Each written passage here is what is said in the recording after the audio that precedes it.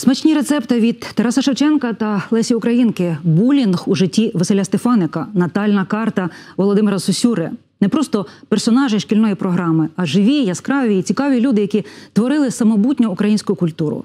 Знайти маловідомі, нетривіальні, а місцями й дуже відверті факти у біографіях українських письменників і записати про це літкаст, тобто літературний подкаст. Ось таким було завдання цьогорічного конкурсу Круте ЗНО.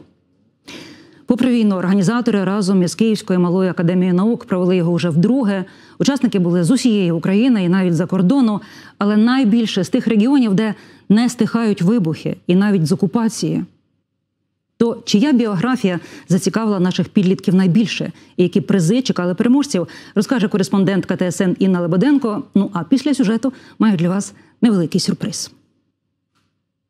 Я навіть не уявляла, що шкільну програму можна вкласти в такий цікавий формат. Одинадцятикласниця Каріна Бондаренко участь у конкурсі брала за кордону. Від початку повномасштабного вторгнення її родина живе в Польщі. Лише зараз на кілька тижнів дівчина приїхала в Україну. Це ми були на прогулянці в лісі, і нас мама фотографувала.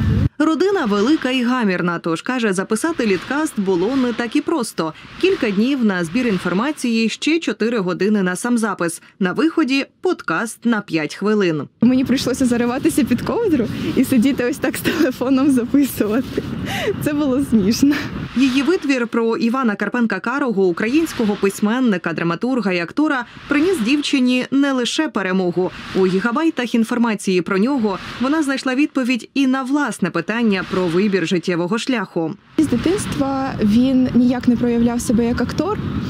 Е, Він вчився в училищі, потім працював канцеляристом, що взагалі не поєднується з театром. І це мені дає таку надію, що не обов'язково обирати професію самого дитинства і своє призначення ти можеш знайти там в 30 років чи навіть в 40. Якщо про Карпенка Карого лише один літкаст, то про Лесю Українку аж 14. 11 присвячено Ользі Кобилянській, по 10 про Сковороду та Франка, і 9 учасників заглибилися в біографію нашого кобзаря.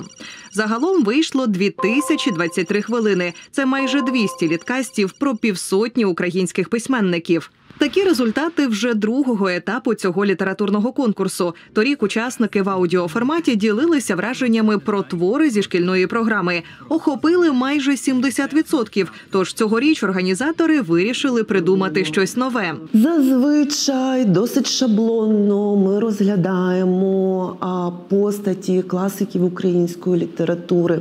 Ми фактично не задумуємося, де вони мешкали, що вони їли, з ким дружили, як проводили свій вільний час. Тема інша, учасників більше географія незмінна, як і торік, більшість із південних та східних регіонів, і навіть із тимчасової окупації. З минулого року, от зважаючи на те, що ми пишемо ко- кожному да, учаснику, на превеликий жаль, частина учасників не відгукнулася. Ми не знаємо, що з ними. Ірина сподівається, що з ними все гаразд і чекає на звістку від кожного, щоб передати подарунки. Цьогоріч, завдяки меценатам, призовий фонд вдалося збільшити до 200 тисяч гривень. Тож 10 учасників отримали по 15 тисяч гривень і ще 10 по 5. Крім того, є близько двох десятків спецвідзнак. Серед них і особлива нагорода від ведучої ТСН тижня Али Мазур. Її отримає 15-річний Гліб Шишкін. По-перше, е, тому що він по-новому відкрив для мене Майка Йогансена із розстріляного українського відродження. Бо коли я вчилася в школі, його не було навіть в програмі позакласного читання. А по-друге, за те, що він зробив це оригінально у форматі розмови з Майком. Вітаю, Майку. Мене звати Гліб Шишкін. Уже сам Гліб розповідає нам, звідки в нього ця ідея. Я дуже багато читав е, е, цитат його сусідів про нього, його розповідей. Мені захотілося якось повторити, е, повторити те, як можливо він спілкувався, е, якісь його емоції. Йогансена обрав теж не випадково. Мені відчулося, що ми з ніби з ним якісь однакові. Просто ну я ніби коли читав е, про нього, я ніби читав щось про себе. Зокрема, обоє перейшли з російської на українську. навчаючись в гімназії, писав дуже багато творів російською. А потім, коли поступово почав е, чути українську, читати українською, то він просто спалив всі свої твори російською. Про це він і розповідає у своєму літкасті, а ще намагається якнайповніше розповісти про звички та уподобання письменника. Та вимкніть музику. І власне цей момент був, аби показати те, що Майк Йогансен не любив музику. І попри те, що зараз у літкасті він уже чує, що можна було б виправити, трошки пафосу би зменшив. фінал би каже, точно не змінював. Я закінчував е, цей подкаст е, питанням до Майка Йогансена, що би хотіли передати теперішньому поколінню, майбутнім поколінням, про те, що йти ще довго, про те, що нам варто боротися, про те, що нам варто не спинятися. Інна Лебеденко, Валентин Шилко, Геннадій Шульга та Анастасія Герасименко, ТСН 1+,1, Марафон. Єдині новини. Ну і ось він обіцяний сюрприз. Гліб Шишкін, заходь. Який через так, через десятиліття подумки, привіт, дуже рада тебе бачити. Через десятиліття подумки поговорив із Майком Йогансеном. Він сьогодні в студії ТСН. У цьому є моя спецвізнака, бо дуже цікаво особисто познайомитися майже із колегою. Гліб, рада тебе бачити. Е, Ну, 15 років це ми вже знаємо. Розкажеш глядачам, звідки ти, де вчишся? Е, Я з південних областей України і я вчуся тут в школі в Києві. І в сюжеті йшлося про те, що ти перейшов з російської мови на українську свого часу, так само як Майк Йогансен, так?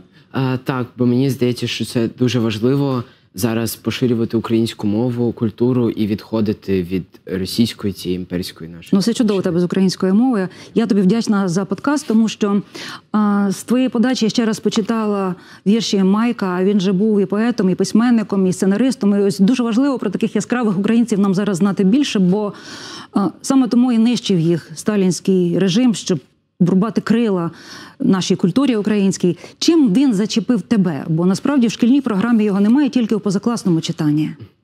Особисто мене він захопив своїм стилем життя, бо він жив е, ніби в моменті. Він Як не... зараз модно в моменті. Так, він не звертав увагу сильно на те, що про нього думають. Він кожен раз відкривав якісь для себе нові хобі, нові захоплення. Від футболу до більярду він вивчав дуже багато іноземних мов, і оце мене дуже надихає в ньому. І це те, що хочеться переймати до себе. Ти був такою дуже різносторонньою особистістю. Угу, так, так.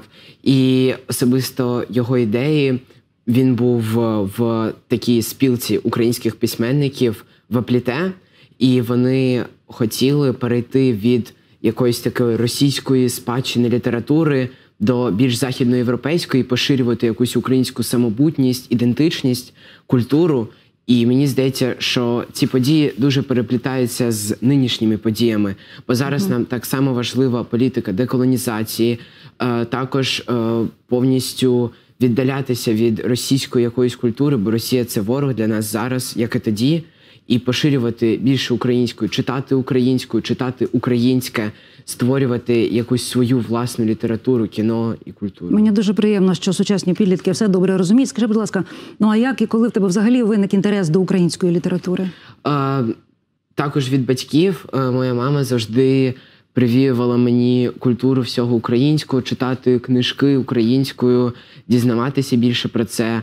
От і мені здається, що це важливо, особисто особливо після повномасштабного вторгнення. Я почав більше вникати в історію, в події і порівнювати їх е, з тим, що зараз відбувається. Батьки знали, що ти береш участь у конкурсі, адже це вже його другий тур, а ти в першому а, брав участь. Так, Допомагали тобі, можливо, якось? Е, ні, не допомагали, але вони були першими слухачами. Але також я вже беру участь в конкурсі вдруге. От минулого разу я також розповідав про Івана Багряного.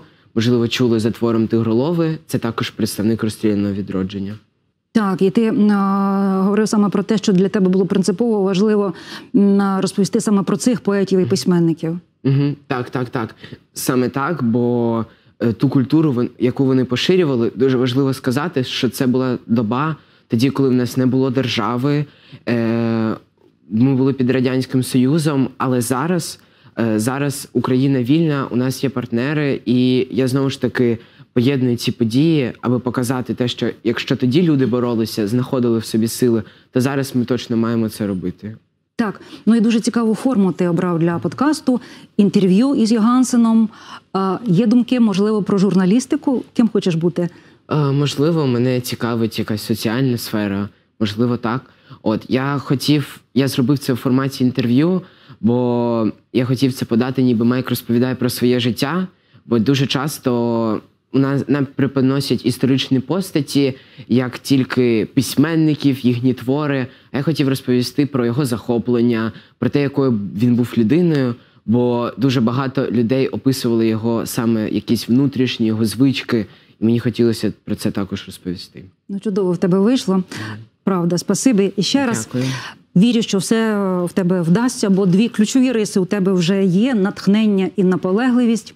Ну що, друзі, і задоволення представляю вам ще раз Гліб Шишкін, 15 років, один із найяскравіших учасників конкурсу літературних подкастів Круте ЗНО.